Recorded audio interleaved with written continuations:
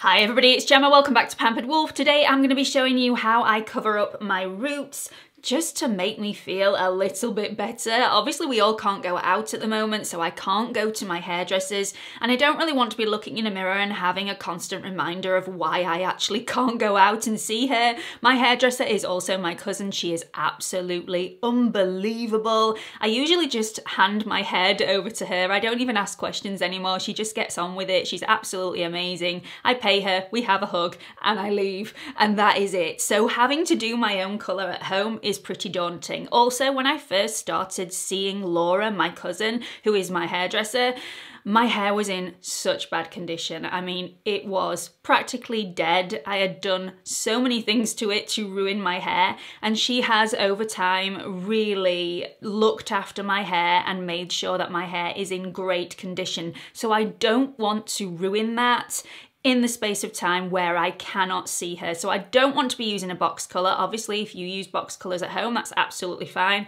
But I know my hairdresser would absolutely kill me if I ruined this now for the sake of a few weeks. So the products that I'm going to be using today are completely washable. They wash out in one wash and you can really play around with these. They were specifically introduced to market to make sure that you could prolong your colour for that couple of weeks longer so that you saved money, you didn't have to go to the hairdressers as often.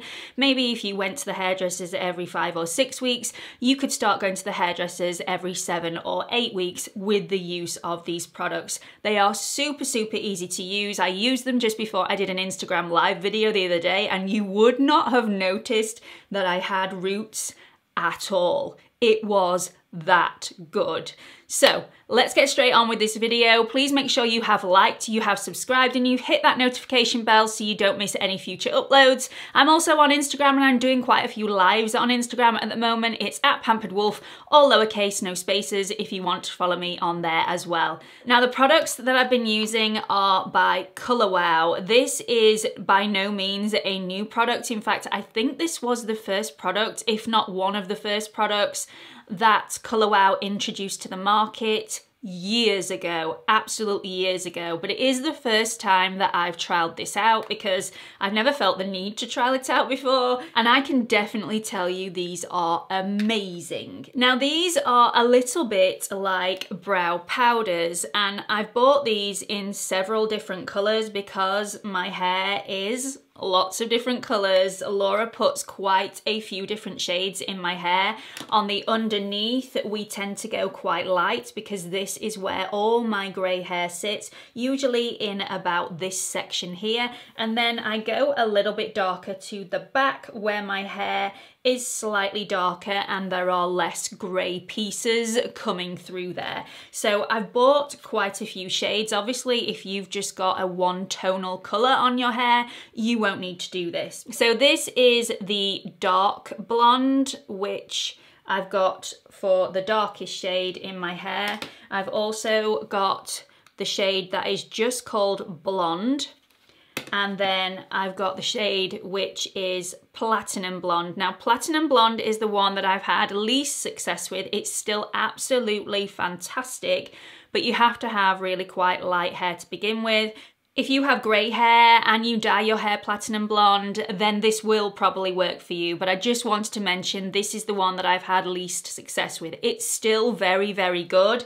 I just don't find it as excellent as all the other colours. They also come in lots of other shades as well. So there are lots of shades of brown. There's also a black if you have really, really dark hair just absolutely fantastic shades to choose from and they really do blend into your natural hair colour. So these are £28.50 each recommended retail price. They do often have discounts on their products. It is rather pricey, but I really like them. One, they work, and two, I don't have the faff of a box colour. I also know I'm not going to damage my hair in any way, shape or form. I can experiment with these with different colours and know that these are going to wash out And also these are really quick and simple to use. Very, very quick and simple. Now, like I said, these are supposed to prolong your colour for a couple of weeks. We've been indoors for a lot longer than that. So if you were due a haircut and a colour just before the lockdown started, you're going to be using a lot more of this product than it was recommended for in the first place. Doesn't mean it's not going to work for you, it still is going to work for you, but it will last a little bit less time than it would have done if you'd just been covering up a very small amount. These are supposed to last for 60 uses. Now, I'm not quite sure how they've worked that out because it depends how much root you're covering over. If you're just covering up one strip of root, then yes, maybe 60 uses you'd be able to get out of it. But if you're like me and like to flip your hair from one side to the other, you're gonna have to do one side and also the other side and maybe your hair parts in the middle as well and you're gonna have to do in there.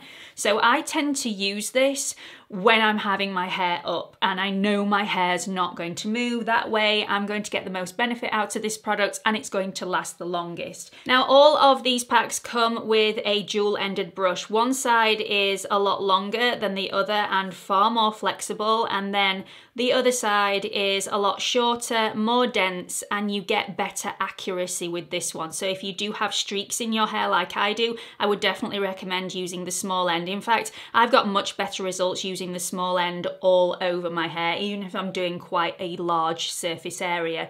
That is the end that I recommend. You can apply loads of pressure with this and really get the color where you need it to be. Now there are two reasons why you would use these products. The first reason is the most obvious, you are covering up root regrowth. The second one is slightly less obvious, but it's absolutely amazing. If you've got any thinning hair, if I was to pull my hair off my face so you can see all the roots there. But as you can see here, my hair is actually quite thin. If I was to use the Colour Wow products on this area, it would fill in that area of hair, making my hair look so much thicker. So let's just part the hair in this direction so that I can show you a root touch up on this side and show you how I do it and how it's recommended to do it to get the best results. So I'm going to use the blonde colour here and I'm really going to dig that brush in the colour. You cannot be shy with this. You really need to pack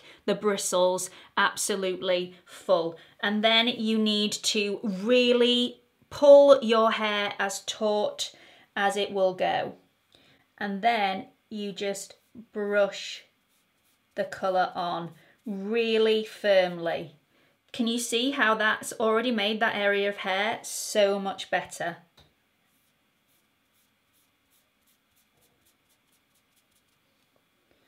So that bit is already done, completed. I'm going to do this front portion for you so you can see it from the front. So take each individual section and really pull it taut and then get some of your colour and just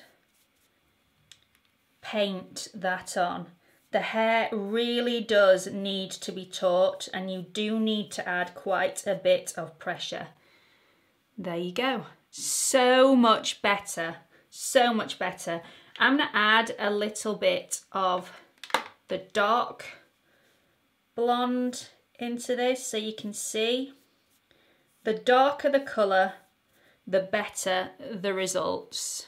Really is fantastic. Let me part my hair for you right down the middle and put my hair up and show you the second way you can use this product. Okay, so I've got my hair pulled back and parted it down the middle so that you can really see all the exposed roots and also around the edge here is grey and around the edge here is grey. Not massively noticeable because I keep my hair quite light to disguise the grey so I can go that little bit longer in between salon treatments but definitely visible all the same. So I'm going to take my blonde shade and really dig the brush in there. By the way, I've used these quite a few times already and they don't even look like they've been touched. There's a little bit of fallout in the pan, but other than that, you wouldn't know that any has been used. So again, pull that hair really taut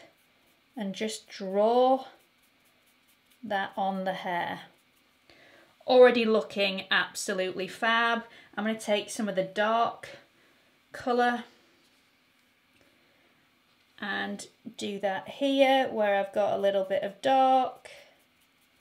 Then go back into the blonde, get a little bit of blonde and pop that there and keep going like that. So then I'll take a little bit of dark and pop that there. Then a bit of the blonde colour again and pop that in there.